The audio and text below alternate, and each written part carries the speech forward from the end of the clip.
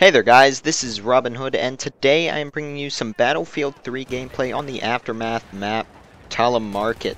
This is a round of conquest 64 person server. Uh, I believe it was one of the URock gaming servers, although I'm not sure on that, but they've been pretty much the only ones I've actually been able to join and uh, stay on recently with all the hack attacks going on on the Battlefield 3 servers, so hopefully DICE is able to clear all of that up soon. Uh, it's been causing a lot of people a lot of trouble, and for some reason these servers seem to be uh, staying up pretty well. So maybe no one's targeted them. Not quite sure on that. But I am playing as Assault. Uh, I am using the M16A3. I hadn't used it in a while, so that's what I'm using here. As you guys know, my main gun is the AUG, but every now and then it is fun to go back to the absolute killing power that is the M16A3. Now this entire gameplay lasted around 22 minutes. I've cut it down to around 12 and there were uh, the sections that I cut out they pretty much were just sections where I was capturing flags and uh, there wasn't that much action going on and although they are to me probably the most important sections in winning the game obviously you guys like to see some of the more gun combat heavy stuff but I'll still be able to tell you guys a little bit about the tactics I use on this map. I saw that E flag was flashing there, the suburb, so I spawned in there after dying uh, to that guy just lying down underneath. I laid down to kill him and ended up getting shot from someone off to my left. But you can see all these guys here that are pushing the E flag. They now hold all of the other flags, although you can see some of them are burning there. So we're going to take them back. I'm trying to clear up these guys so that they don't completely cap us until we get one of those flags back and uh, just protect this flag. And as the Russian team, to me personally, A flag is the most important because from there you can easily access the other central flags, uh, the main ones being C and then also the D flag.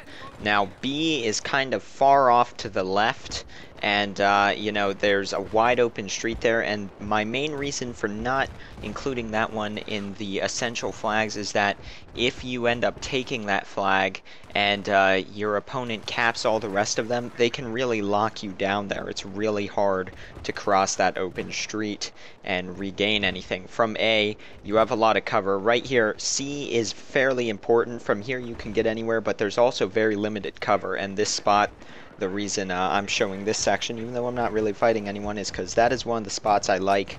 A lot of people run up into this central area to get on the flag. You can actually be just inside of the capture range where I was, and uh, it guards your back because this is a very open section of the map. And obviously, uh, you guys saw that I was mainly looking to the right of where I was facing. That is because at that point in time we did have the B flag. If you didn't, you'd also have to watch that because they come through that building on the left with the dome. And uh, right here, check out this sniper round going by me.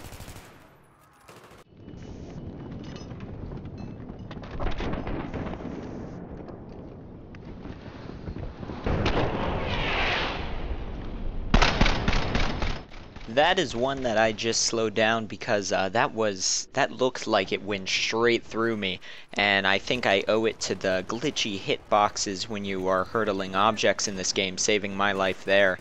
But that was a uh, pretty funny moment in the game. I was like, wow, that was a close one. Uh, funny thing is when you actually do get sniped and die, never really think anything of it. It's the near misses that are always way more interesting, and that sounded pretty cool in slow motion too. Uh, very nice sound effects in this game. But right now, using this building, they haven't completely blown it to bits yet. Uh, just peeking that staircase, a lot of people will run all the way up top, and you are viable to get killed there because this is still a very open area and especially up there you can get shot from every single direction but you can see just a few seconds ago, we only had that E flag. Now we have taken back almost all of them. Just took A.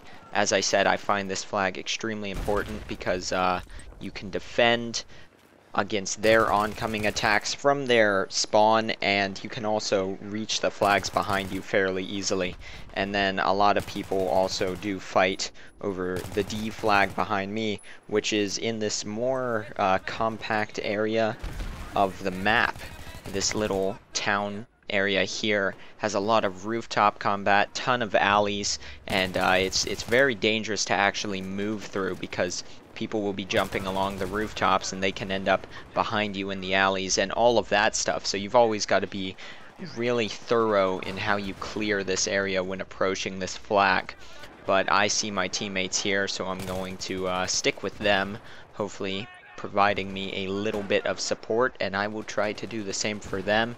And once I get up onto these rooftops especially if I'm entering from over here uh, I'm gonna move to my right. And you'll see that in a second. I was just checking that Jeep because if there was a gunner in that he is a high threat. Gotta go ahead and take him out. But now you can see I'm on this rooftop and the reason I like this one is I can cover my teammates approaching D and you can see that they are in fact on D. They've got it burning. Uh, otherwise I'd have to go in and do that. But if I've got teammates on there yeah you get points for capping the flag but it helps to have a support guy. And you can see I'm stopping people from coming to uh, support it from the back. Just took out two guys back there then and guys coming up here. And the reason I like that rooftop is because the only entrance to it is in front of you. It's not one of these ones where they can jump from the right or the left or come up that staircase on you. Um, so if you're up here, you can pretty much cover yourself fairly well. And there's this nice little ridge in the wall that you can lay down behind when needed. But you can see my teammates are going to take that flag. I'm just making sure no one else comes up and surprises them. And now we've got to clear the areas behind it.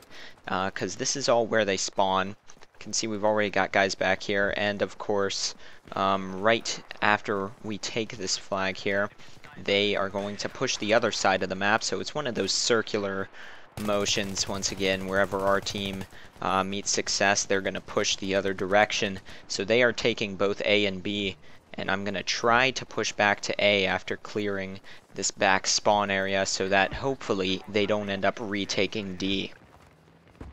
So you can see we're just moving up here through the rocks.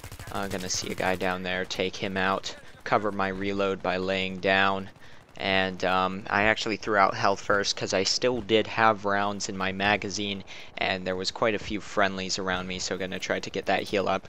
And here there's a guy standing behind a car and uh, what usually works is throwing a grenade at the car and blowing it up but for some reason this car did not explode so I've gotten a ton of kills doing that and uh, this car just did not want to be one of those ones that would kindly blow up and kill the guy behind it for you so that's that's not going to work there, but you can see we're still pushing our way back towards A. I'm going to clear this building, just make sure there's no one in there. Give that guy some health, because he was low on it, but he didn't actually use it. And, uh, you know, if you're playing Medic, a lot of people will heal themselves all the time. Makes sense to do so. Um, I still find a lack of people that will throw down health even when they're fully healthy.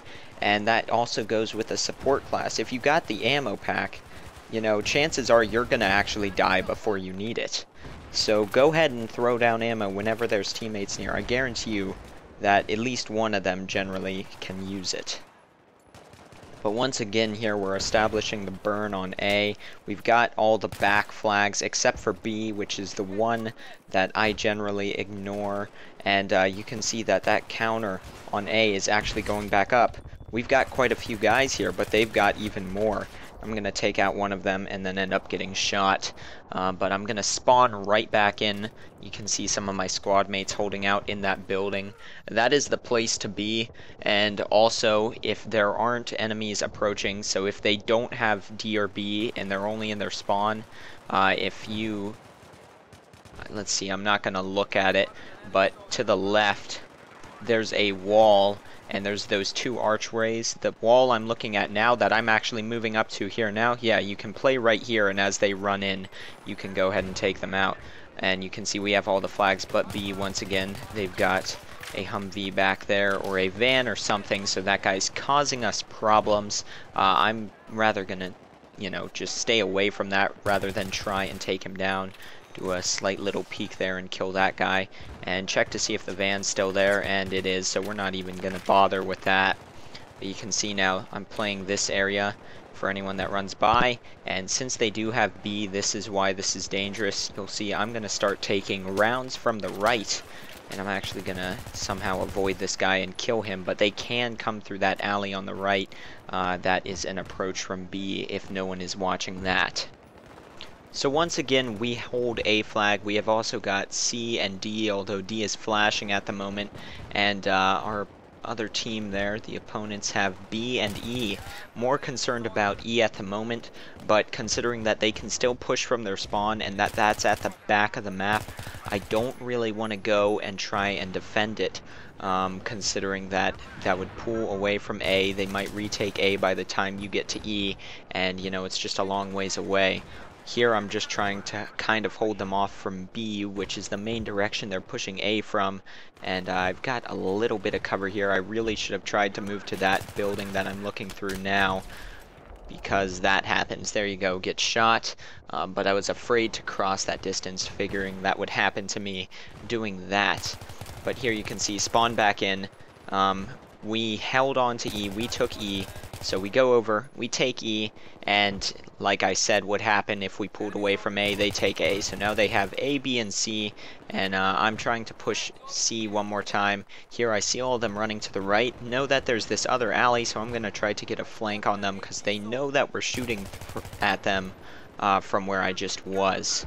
So you can see kill the one guy, check the left to make sure there's no more. This guy revives a buddy, and then I just fail on the hip fire with him. So that's going to be the end of my life there, and pretty much the end of the game. Uh, I'm going to spawn back in, get one more kill, jump down to try to get C, and they are making kind of a comeback there, but we end up winning with a solid amount of tickets left. So hopefully you guys enjoyed that game. Uh, that's how I play this map, Conquest, with a large amount of people, and uh, I will have more gameplay for you soon. So thank you for watching, subscribe for more if you haven't, and I will see you all next time.